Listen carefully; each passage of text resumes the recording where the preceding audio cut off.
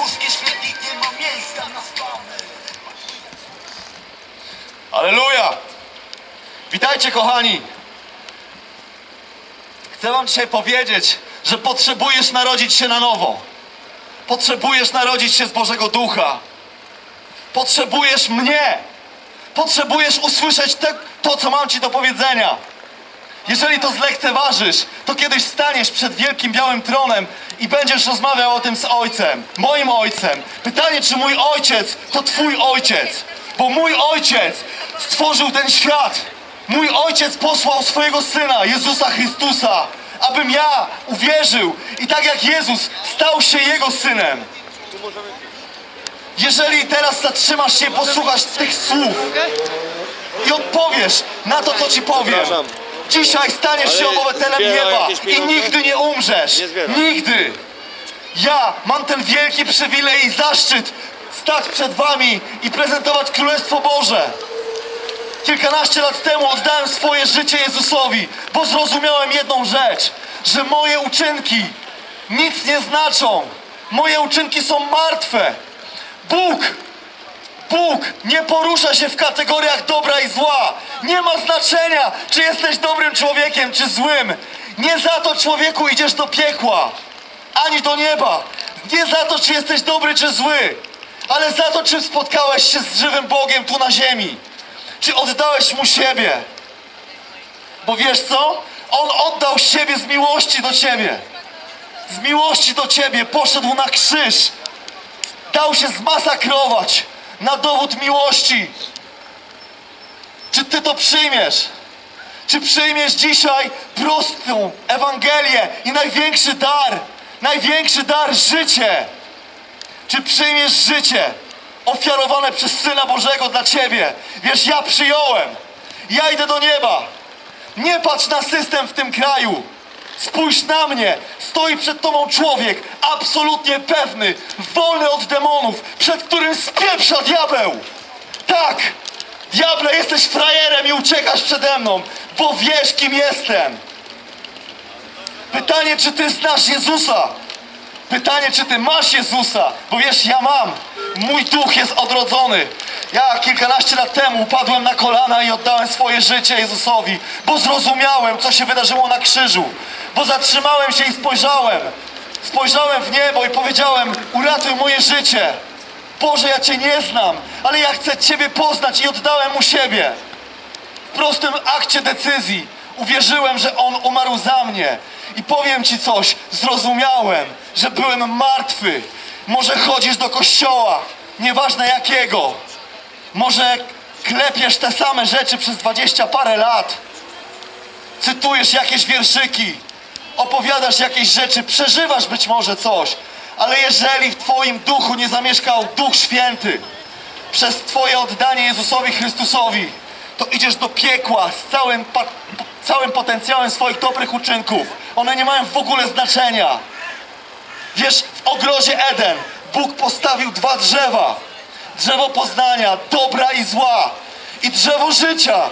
I powiedział, nie jedz z drzewa poznania dobra i zła. Mam taką radę dla ciebie. Nie interesuj się, co to jest dobro, co to jest zło. Nie potrzebujesz tego. Wybieraj życie, jedz życie. Ale człowiek w wyniku tego frajerskiego szmatana został zachęcony i zainspirowany do tego, żeby zjeść z drzewa poznania dobra i zła. I Adam, słuchaj, Adam od razu poleciał w krzaki ze wstydu. Wstyd nie jest od Boga. Choroba nie jest od Boga. Cierpienie nie jest od Boga, to żaden krzyż. To hańba. Choroba to nie jest nic wspólnego z Bogiem. Jezus Chrystus dwa tysiące lat temu poniósł na krzyżu każdą jedną chorobę. I dzisiaj możesz być zdrowy. Jeżeli uwierzysz Jezusowi, możesz być zdrowy. Nieważne, czy masz depresję, katar, raka, białaczkę. Nieważne. Wypróbuj nas.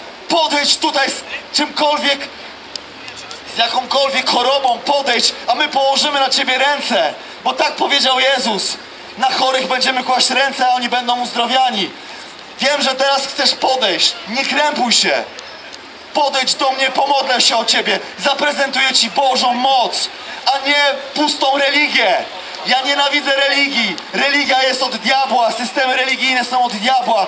Ja mam Jezusa i mam życie wieczne. Czy chcesz mieć życie wieczne? Pojednaj się z Bogiem. Uznaj swoje całe życie za błąd. Uznaj swoje dobre uczynki za błąd, za zbędne. One nic ci nie dadzą, bo dobre uczynki w oczach świętego Boga są jak splugawione ubranie. Dlatego Jezus wypełnił wszystkie przykazania. Wszystkie przykazania. Przykazania w ogóle nie są do ciebie, człowieku. Jeżeli przestrzygasz 10 przykazań, to puknij się w czoło, bo one były do Żydów. I to jest stare przymierze. Jezus jest końcem prawa. Jezus wypełnił wszystkie 10 przykazań i 630 kilka ustaw. On to wszystko załatwił. Jezus stał się moim błędem, moim grzechem, moją patologią, moim uzależnieniem od seksu, od ćpania, moją depresją, a ja stałem się Jego sprawiedliwością. Tak się zamieniliśmy. Ja dzisiaj stoję jako zdrowy, wolny, silny i spokojnie zasypiający człowiek. Też tak możesz mieć, jeżeli oddasz swoje życie Jezusowi, jeżeli uznasz, że Ty, egocentryku, jesteś w błędzie. Jeżeli Twoje ja, Twoje ja to jest najważniejsza dla ciebie sprawa. Twoje ja. To, jest, to się nazywają klocki ego. Ja, moje, dla mnie, o mnie. Musisz z tego pokutować. Musisz uznać to za błąd, jeżeli chcesz pojednać się z Bogiem. Zamień, zmień Pana. Wiesz, jeżeli jesteś egocentrykiem, to diabeł rządzi w twoim życiu. To jest proste. A jeżeli uznasz swoje życie za błąd, przeprosisz, przeprosisz Boga za swoje życie, On przyjdzie do ciebie, uzdrowi twoją chorą duszę, przede wszystkim zbudzi cię do życia. Narodzisz się na nowo z Bożego Ducha. Ja ci mówię najważniejszą rzecz, najważniejszą informację, jaką możesz usłyszeć kiedykolwiek. Możesz narodzić się na nowo, możesz stać się zupełnie nowym stworzeniem. Nie musisz się udoskonalać, wymieniać. Możesz narodzić się na nowo. Możesz narodzić się na nowo. Możesz narodzić się na nowo, przyjacielu. Czy jesteś narodzony z Bożego Ducha? Super, to tam są twoi bracia. Idź z nimi rozmawiaj. A ja będę głosił Chrystusa i Jego świętą krew. Jego święta krew. Jego święta krew. Jego krew przelana została za ciebie i za mnie. Ja w to uwierzyłem. Powiedziałem, Boże, wybacz mi moje życie. I On przyszedł do mojego życia z nieprawdopodobnym pokojem, bez potępienia, bez potępienia. Słuchajcie, kiedyś tłum Żydów stał na rynku, wywlekli kobietę przyłapaną na, uprawianie seksu, na uprawianiu seksu z jakimś chłopem. W tamtych czasach to było tak ciężkie przewinienie, że od razu ją kamienowano. Ale powiedział Jezus, powiedział Jezus do tych wszystkich ludzi, do tych wszystkich sprawiedliwych ludzi. Kto z was jest bez winy? Niechaj kaman pierwszy rzuci kamień. Nikt, nikt, nikt, nikt się nie odważył, bo każdy jest winny. Wiesz o czym mówię? Każdy jest winny. I on spojrzał na tę kobietę, spojrzał jej głęboko w oczy, w ogóle z miłością na nią spojrzał. Jezus patrzy dzisiaj na ciebie z miłością. I powiedział: Nikt cię nie potępił, ja ciebie też nie potępiam. Ale idź i już tego nie rób. Nie musisz tego robić. Nie musisz poprawiać swojego nastroju zakupoholizmem, alkoholem, zmienianiem partnerów, partnerek, lepszą pracą. Nie musisz poprawiać swojego nastroju. Możesz mieć ustawiczną świadomość, bardzo dobry nastrój.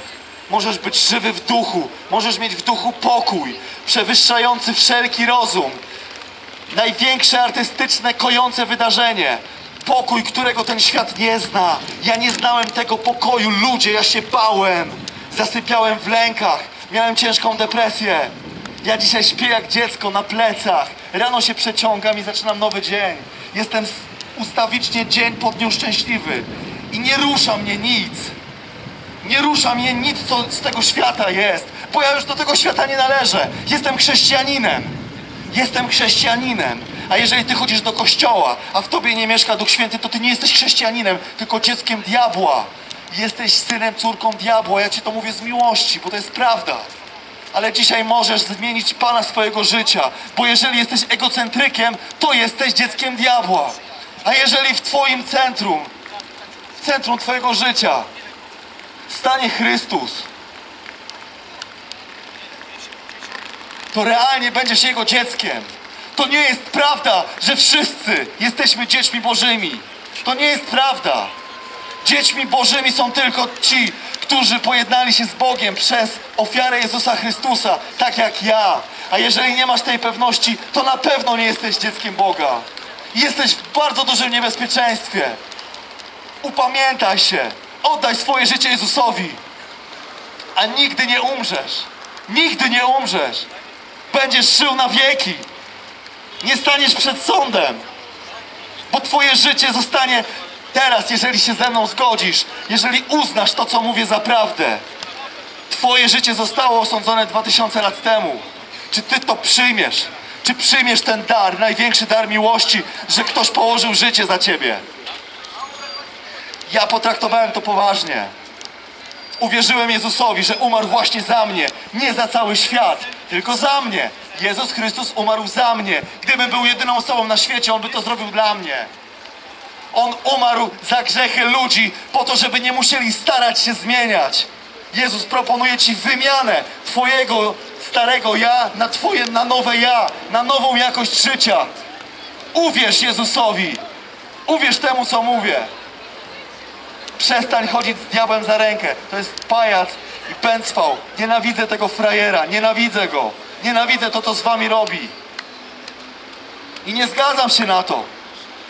Zrywam zasłony z umysłów ludzi. Ojcze, ja oddaję Ci tych ludzi. Ja chcę, żeby ci ludzie pojednali się z Tobą. Ja tego chcę. A Ty zawsze wysłuchujesz swojego Syna. Amen.